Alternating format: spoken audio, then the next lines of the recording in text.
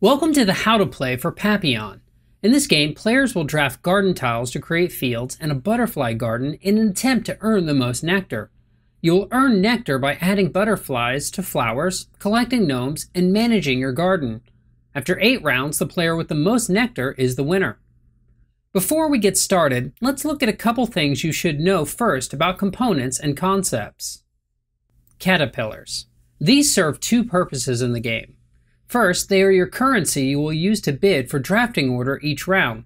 And second, each one in your possession at the end of the game counts as one nectar. Garden tiles. The garden tiles are used to build up your personal garden. These consist of patches and fields. Patches are made up of any number of flower segments of the same color. Closing these is required to gain any benefit. Fields are made up of any number of connected field segments and closing these is also required to gain any benefit. Gnomes. Gnomes serve different purposes within the game. First, they are used to track the game rounds, with one being placed on each space of the round track. Second, one gnome is available each round to be drafted by a player choosing tiles from specific spaces of the game board. Third, after a player acquires a gnome via the draft, they gain the number of caterpillars indicated on the token. Additionally, in the event of a tie, the player with the most gnomes is the winner. Butterflies. Butterflies are used by players to earn nectar by placing them onto the stand-up flowers. We'll look at this more closely later on. Flowers and planters.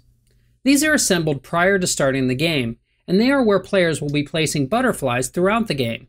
Planters have three values printed on them which indicate the nectar scoring values players can earn at the end of the game. Bonus tokens.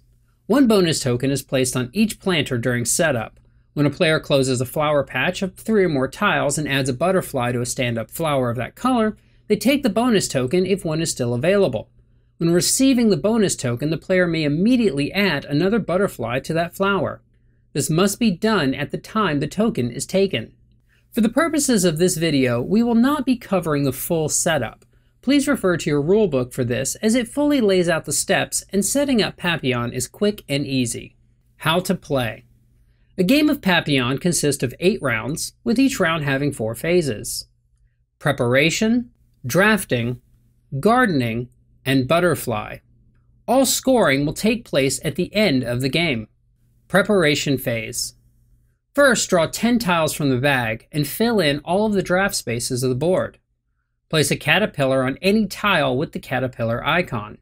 Take the face down gnome tile for the current round and place it face up on the gnome space between the second row and second column of the tiles as indicated by the gnome icon. Now players will bid for draft order. The player in position 1 on the bid order track makes the first bid to determine drafting order for the tiles by moving their gardener to one of the spaces numbered 1 through 5 or the rightmost zero space. The player then pays the indicated number of caterpillars by returning them to the supply. Any player that bids zero will receive bonus caterpillars indicated by the multiplier near the space after all players have placed their bids. Each remaining player, based on their position of the bid order track, moves their gardener in the same way. Note that when placing on the zero space, if another gardener currently occupies the rightmost space, that gardener and any to the left are moved one space to the left, and the current player bidding places their gardener on the now vacant space. After all players have completed their bidding, any player who bid zero receives the bonus printed on the space where their gardener is located. Now move all gardeners to the bid order track in the same order left to right. Drafting phase. The player whose gardener is in the first position of the bid order track drafts any row or column from the board that contains at least one tile and adds those to their play area. Repeat this for each player in turn order. When a player drafts a tile with a caterpillar on it, they also gain the caterpillar token. The first player to draft all of the tiles in either the second row or second column also takes the gnome token from the toolshed and adds that to their play area. They also receive the number of caterpillars indicated on the token. If no player drafts the tiles needed to claim the gnome, then the token is simply removed from the game at the end of the round. A note here a player may have up to 12 caterpillars. If a player has more than 12 as a result of the drafting, they must return any excess to the general supply. Additionally, anytime a player drafts a column or row that only contains a single tile, they draw an additional random tile from the bag. This ensures that every player ends up with a minimum of two tiles in the draft phase. Gardening phase. Each player now takes their drafted tiles and places them in their garden following these rules. Except for the very first tile placed in round 1, each tile must always be placed touching another tile. Once placed, tiles can no longer be moved. A player is, however, permitted to try multiple placements and locations for the tiles during the current round until they are satisfied with the final placement. Each side of a tile placed must match the tile that it's touching. There are five possible matches red, blue, yellow, and purple flowers, as well as fields. Flower patches must be connected to flowers of the same color. Once two or more tiles have been connected with no remaining sides that can be connected to the same color, a patch is now considered closed. When a player closes a flower patch, they place one of their butterflies from either supply or a stand-up flower onto that patch. Fields are similar to closed flower patches, but have no immediate game effect. They will score at the end of the game. Butterfly Phase Players resolve their butterfly phase in reverse bid order. The player that drafted last places their butterflies on stand-up flowers one at a time. When placing butterflies, there are two options for doing so. If the flower patch closed was only two tiles in size, the player adds their butterfly to any flower of that color as long as there is not already nine butterflies on it. The player clips their butterfly to any part of the flower with sufficient space to do so.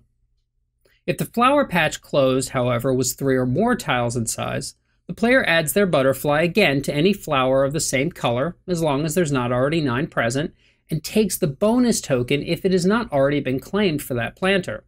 When claiming a bonus token, the player may immediately add one of their butterflies from either their supply or another stand up flower to that stand up flower. End of round. If this was the eighth round, then proceed to end of game. Otherwise, follow these steps. Remove any undrafted garden tiles from the game board and remove them from the game. If the gnome available for the round was not drafted, remove it from the game. Begin a new round by proceeding to the preparation step. End of game. The game ends after 8 rounds. Using the score pad, players score the following in order. Flower scoring. The player with the most butterflies on a flower earns the highest nectar value printed on the planter. All remaining nectar values are awarded in descending order based on the number of butterflies on the flower.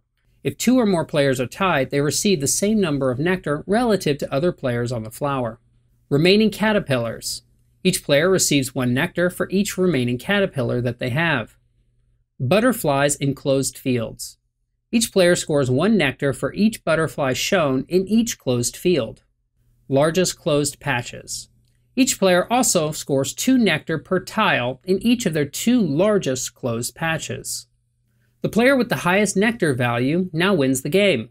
In the event of a tie, the player with the most gnomes is the winner. If still tied, then the players share in the victory. This concludes the how to play for Papillon. Additionally, within the rulebook, there are rules for a two player variant as well as for an expert gnome variant. Please refer to your rulebook for these. As this how to play was created during the crowdfunding period of the game, some rules and components may have changed. Always refer to your most recent rulebook for any changes. Thank you for watching.